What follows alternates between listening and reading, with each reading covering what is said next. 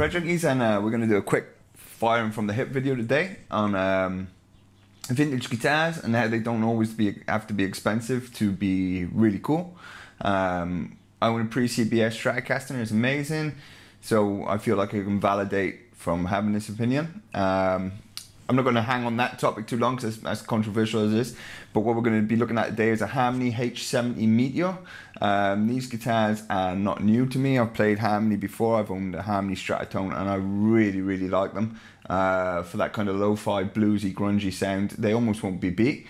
Um, so we're going to jump in. We're going to have a look at a few things to look out for when you're looking at them and why I think they're the way to go if you're looking for some vintage. Let's take a look. Okay, so when I was looking at this guitar, there was a few things obvious that I could see control knobs, not original, that doesn't mean the pots aren't, and the bridge. Um, both things aesthetics. The bridge, actually, from my experience on these old harmonies, are not great, um, so I would have changed that out anyway. The most important thing I was looking for were them, the pickups. Uh, I really enjoy these pickups. Um, so yeah, that was I seen it. This come as a trade against the fuzz.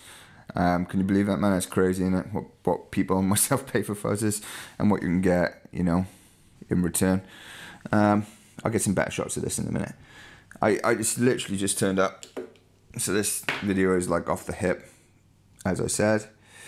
Uh, the tuning pegs are being changed and it's quite a hideous job if I'm honest on the back. I'll show you that in a minute.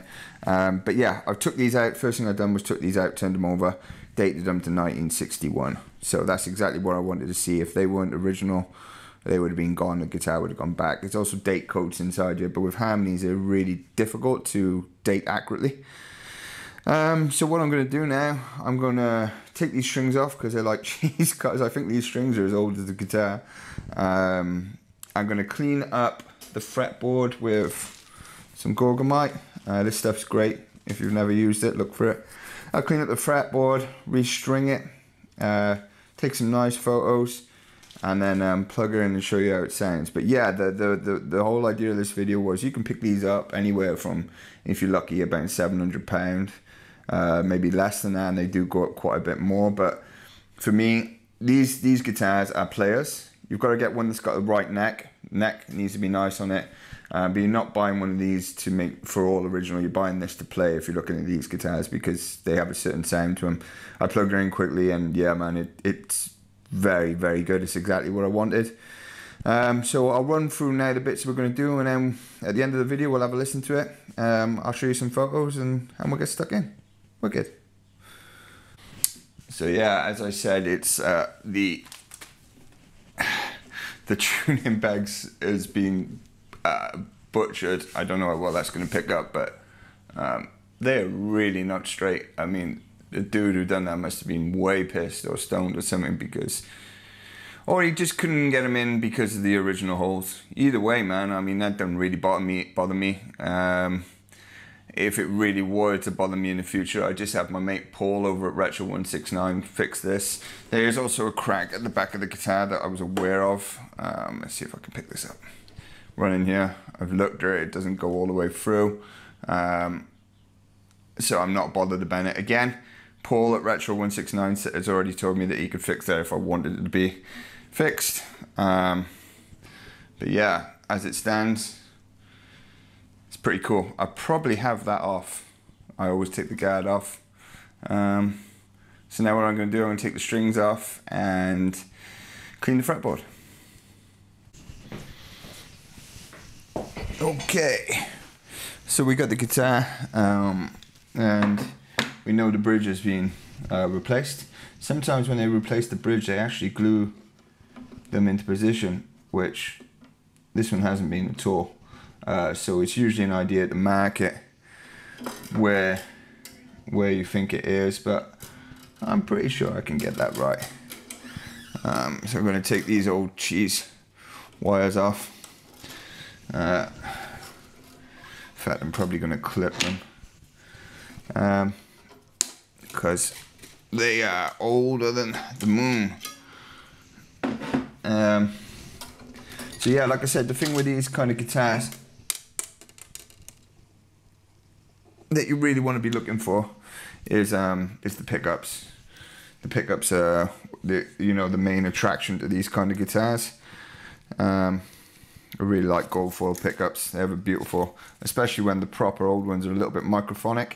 You get some really cool um, tones out of them, and they have a very unique sound. Um, it's weird how like a lot of these. There we go. A lot of these older guitars, you know, they've been made a bit more famous on players like Jack White, etc. I got that right, Jack White, Jack Black. Um, you know, champion these champion these guitars, uh, and the, actually the prices uh, have gone up because of that, no doubt. Um, if I can get this bugger out, oh, they've done a smart loop by the looks of it. That one not so much.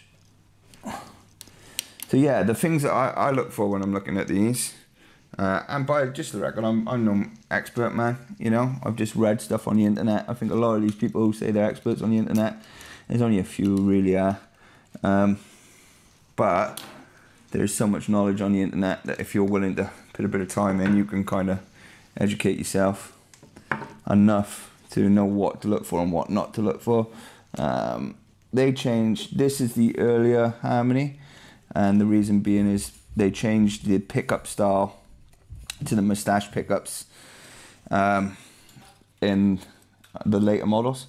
So I knew this was an early one straight away, uh, which is cool. It was just my only thought, initial thought was whether it was actually uh, real or not. To which it is, which I'll show you in the photos. I should have videoed that, but you know, can't catch it all, I suppose. I'm having a bit of a nightmare with this one. Um, so yeah, the pickups is what I was really after, and I was very happy to see that they were they were real. Um, so other bits really is just up to you how original you want it to be. For example, you know the if you want original knobs on it, or if you want you know original bridge, but it's all a bit tackle tat.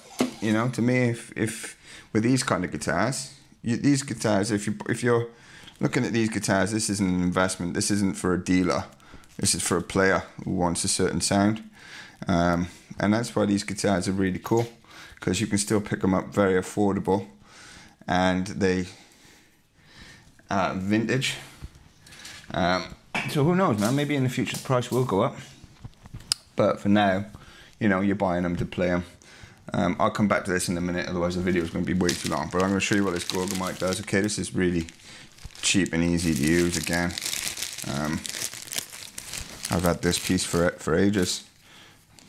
It's probably past its sell by date soon now. You just rip off a little square, whatever you choose to use, and um, work your way down the frets. And you'll see, I'm guessing by the looks of this, this uh, hasn't been cleaned, if ever, because it's rank. Um, and this will soften, not soften, but this will certainly make it feel easier. I mean, look at that already. This is pretty, pretty rank. and that's somebody else's gunk, um, which is a big turn off. But, you know, it shows that the guitar's being played. Um, but yeah, I'll always do this if I can on the fretboards. The frets on this guitar seem alright. There's not massive amount of life on them, but they weren't like jumbo ones like Strats. Just uh, this, these were entry level guitars. And once you start playing enough guitar, you realize that essentially is what you put into the guitar. You know, they will give you different bits and different tones out, but yeah, if you're a player and you're looking for a certain tone, you don't have to be tens of thousands of pounds. You know, you don't have to have plums in your mouth to uh, to talk about them or go into a forum because uh, of that whole Stratocaster thing. And Gibsons can get quite, yeah, plums in the mouth and those guys are real critical, man. And, you know, and rightly so, if that's their thing. But we're just cleaning this up. Let's see what it's like. This guy like to play chords up here because there's you can see this coming off. There's a there's quite a lot of wear up on them top frets, but not much down here. So this this probably, from the feel of it, might have just been a rhythm guitar player, a rhythm guitarist. Because a lot of chord work has happened, but hardly any lead lines. Just by the how much these frets, how much life these have got in them compared to this. And again, like I said, these were entry level guitars at the time, so for people just starting to uh, learn guitar, and um, they would have just been learning chords. Maybe that's how I had his whole life. I don't know, but this is cleaning up quite nicely. There's quite a few cracks on the body as well on the front. Lacquer's gone, there's a ding there. You know, scratches in various places, but it's, it's real, you know. It's uh, you can't fake this kind of finish. I don't think. You mean you get relics, and I love relic guitars. I know it's not everyone's cup of tea, but I personally really like a relic guitar when it's done right. Um, but this kind of finish, you can't, you just can't fake. Everything is very real on it. You see, the look at that. Um, that's probably one of the dirtiest fretboards I think I've ever cleaned. But like I said, from 1961, I don't know if that would have ever got cleaned. I'm going to tuck into another piece here. Um, it certainly feels like it's never had a good clean. This like this stuff as well, man. It, it does make it, in my opinion, it makes a guitar feel like it plays better as well. Um, there's loads of different versions of this out. Like uh, a lot of people have like instrument food out. How dirty that's like. This is going to be boring. Sorry, guys. I didn't think it'd take this long. Thought we'd had a quick clean, but I want to go at it properly and get it all off. Uh, while it was the camera's running, I'll just, I'll probably put these on. Curt Mangan 11 to 50s. Uh, sends me these out, little hookup. These are great strings, and not because Damo sent me out. I choose them. I choose them or Pyramid. I really like Pyramid strings. I also like DR Blue strings. I really, really like those strings. Um, but only 10 gauge in those. The 11 gauge feel weird. But the 11 to 50 on them is good. I'm going to 1150 this. I'm going to probably tune it flat because they felt like they were 10s and I don't have to mess around or put any additional pressure on the neck that might not have been there. Okay, so I'm going to finish tidying this up and get it strung on and then we'll get we'll look back into it, okay? Okay, so we got the um, the fresh strings on there. I'm going to reposition the bridge. I have moved it slightly, so I might have to just intonate it a bit more. Um, and then I'm going to plug it in and we're going to see how it sounds together. Um, the pickups I've just fastened right down. They've got like little springs. They're not really height adjustable. They started making them more height adjustable and pole adjustable after 62, I think.